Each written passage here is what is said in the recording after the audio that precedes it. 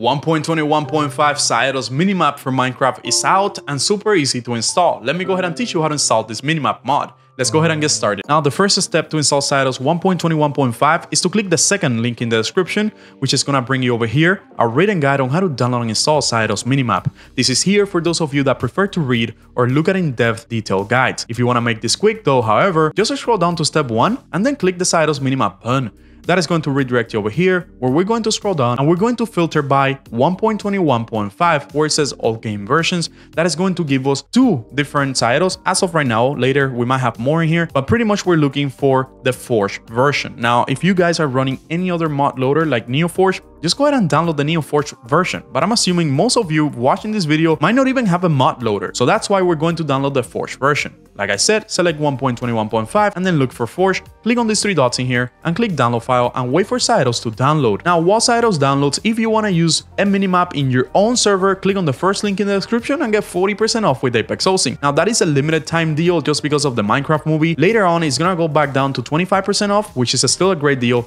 But if I were you, I would take advantage of that 40% off right now. They have support for over 200 mod packs that you could install with just the click of a button. And also, they have servers all around the world, so you don't have to worry about about lagging. They support Forge, Fabric, or any other mod loader that you could think of. And you know, by creating your server with Apex Hosting, you'll also be supporting this channel with that first link in the description. And now let's keep going with the tutorial. And there we go, just after 5 seconds, we got the Xaero's minimap file downloaded. Let's go ahead and drag and drop it into our desktop. Once you have the mod in your desktop, if you already have the Forge mod loader installed, just go ahead and add this mod into your mods folder. But I'm assuming most of you don't have Forge installed, and that is what I'm going to teach you next click on the third link in the description, which is our guide to install Forge. Now, I always do these guides because I know you guys will have a lot of questions and it's always good for you to go back to the guides and read through it. But if you want to make it quick, scroll down to step one, click on Forge. That is going to bring you over here. Select 1.21.5. And by the way, we also have videos on the channel on how to install Forge 1.21.5. But once you're over here, click on Installer. That'll bring you right here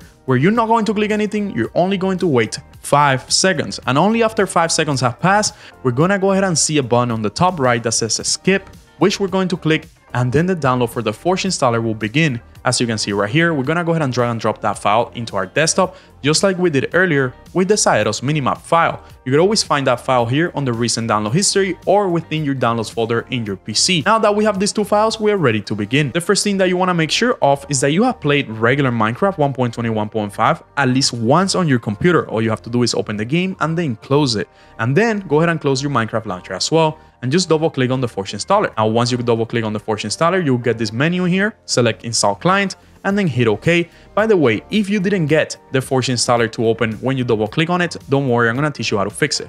But once you have it in here, just go ahead and hit OK and wait for Forge to install, which is actually super quick. But if you didn't have Forge open, and even if you did, you still have to see this because it's pretty important, you need Java 21 not only for the Forge installer to open, but for the Xaero's minimap mod to work. Now I'm assuming by now most of you have Java 21 installed because you've been modding Minecraft for a while, but if you haven't, go ahead and click on the link in the description that says Java 21. Read through the guide, it's actually really simple. You just download the file and then hit next a couple of times and you have Java 21 installed, which is not optional. It's a requirement for any Minecraft above Minecraft 1.20.5. When installing mod, you will need Java 21 at least on your computer. Now, once you install Java 21, you shouldn't have any issues opening Forge or running any mods on Minecraft. Now let's go ahead and hit OK in here. And now we have Forge installed. So that means that we could get rid of the installer file from our desktop. Just go ahead and delete it and just skip your Xaero's minimap. Now to add this mod into Minecraft is super easy. Let's go ahead and open our Minecraft launcher. And if we install Forge properly, we should see selected here automatically as you can see down here.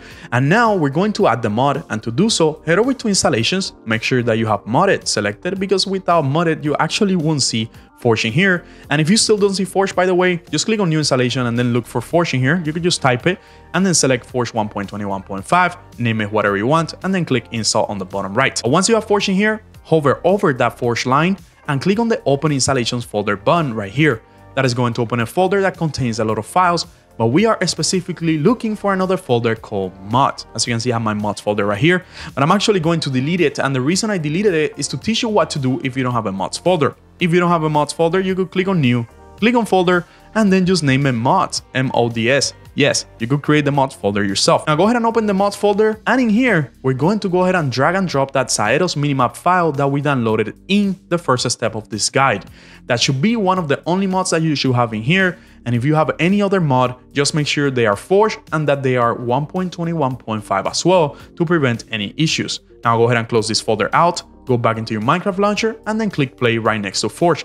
You might get a prompt if this is the first time you're playing Forge. Just go ahead and read through that prompt and then hit understand and then hit play and you'll have Forge open. Once Forge opens, we know that we're in Forge because it says it everywhere, like on the top left and on the bottom left. Let's go ahead and test out our minimap. We could see also the mod spawning here and we could see that Xaero's is right there, but I want to launch a world and see my minimap in action. Again, I'm going to launch a single player world, but if you need a multiplayer server, just go ahead and use that first link in the description to get a server with Apex hosting at a discount. And as you can see, once we're inside the game, we can see Xaero's working on the top left without any issues. You could also press the letter Y on your keyboard and you will get the settings for Xaero's. In here, you could change the position, you could change the shape, you could do a bunch of things with Xaero's actually, which is pretty cool. You could also press U to access the waypoint system for Xaero's. Uh, that is pretty much how to down and install Xaero's minimap for Minecraft 1.21.5. If this video helped you, don't forget to subscribe. And as always, bye bye.